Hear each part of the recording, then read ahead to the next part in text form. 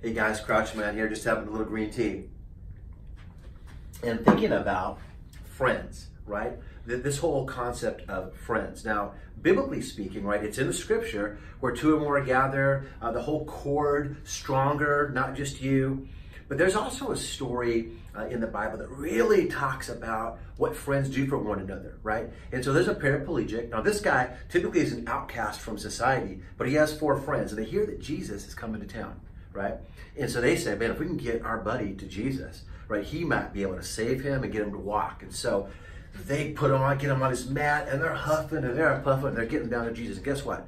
Can't get in. It's jam packed. But these four friends don't quit. They have a never quit attitude. They they are true gritters. And they say, okay, how can we get him in front of Jesus? And so they pull him up this, this side of this, this roof building and they drop him down in front of Jesus. Unbelievable. In, ingenuity, right? A, a never quit attitude for their friend. And as Jesus looks at him, he says, Jesus says, watch this, don't listen, this is so powerful. He says, but for their faith, but for your faith, friends, what you did for your buddy, get up and walk out. Wow, right? I'm so moved by that story because here's the question. Turn the lights down, put the incense on.